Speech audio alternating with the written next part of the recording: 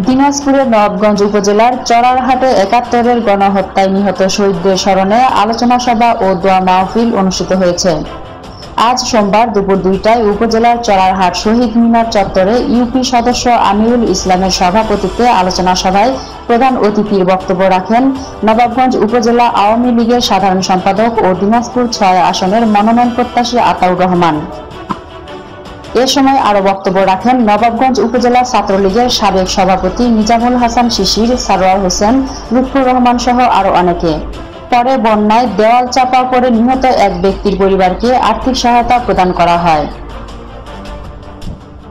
দিনাজপুর হিলি থেকে মকসুদুল মমিন মোয়াজ্জিমের পাঠানো তথ্যচিত্রে একাত্তর বাংলা নিউজ ডেস্ক।